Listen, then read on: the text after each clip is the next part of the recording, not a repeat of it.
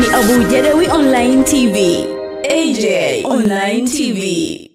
Assalamu alaikum mtazamaji wa Abu Jadawi Online TV, bila shaka haujambo na karibu. Mimi ni Hasani Yusuf. Msikiti mkuu wa Baraza Kuu la Waislamu BAKWATA umefunguliwa jana kwa ajili ya waumini wa dini hiyo kufanya ibada ukisubiri ufunguzi rasmi unaotarajiwa kufanywa hapo baadaye na Mfalme Mohamed wa sita wa Moroko.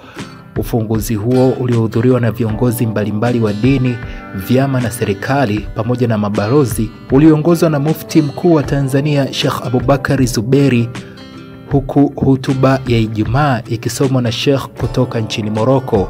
Viongozi wengine walioshiriki katika uzinduzi huo ni naibu spika wa bunge Musa Zungu, meya wa jiji la Dar es Salaam Omari Kumbilamoto, Sheikh wa mkoa wa Dar es Salaam Alhadi Musa Salum, viongozi wa dini wa mikoa na wilaya pamoja na mabalozi wa Uturuki, Moroko wanaoziwakilisha nchi zao hapa nchini. Akizungumza baada ya swala ya Ijumaa, Mufti Zuberi alimshukuru Rais wa awamu ya tano Dr. John Pombe Magufuli kwa kusaidia kufanikisha ujenzi wa msikiti huo. Alisema huu ni ufunguzi mdogo kwa ajili ya kuwezesha waumini wa dini hiyo kufanya ibada hususan katika kipindi hiki cha mwezi mtukufu wa Ramadhani, na kuongeza kuwa hapo baadaye Mfalme Mohamed wa sita wa nchini Moroko, ambaye ni mfadhili wa ujenzi wake, atakuja kufungua rasmi.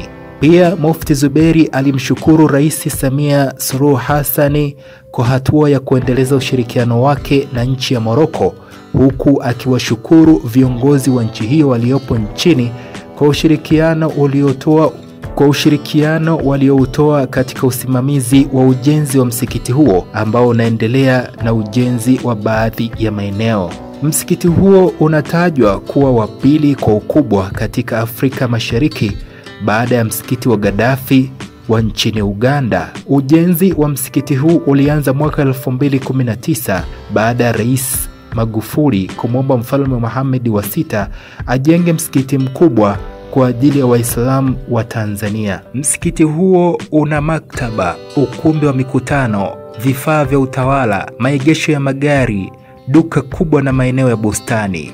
Itakumbukwa kwamba ufunguzi huu wa awali ni ombi la Rais Samia Suluhu Hassan kwa mfalme wa Moroko Mohamed wa sita la kutaka Waislamu tuutumie kufanya ibada kabla ya uzinduzi rasmi. Mbali na msikiti huo, pia Tanzania na Moroko zilisaini makubaliano ya ushirikiano katika elimu ya jadi, misingi ya dini, ujenzi na usimamizi wa msikiti, kubadilishana uzoefu na aina nyingine za ushirikiano unaolenga kuhifadhi maadili halisi ya Kiislamu na kusaidia kuzuia upotoshaji katika dini hii. Hii ni Abu Jadawi Online TV.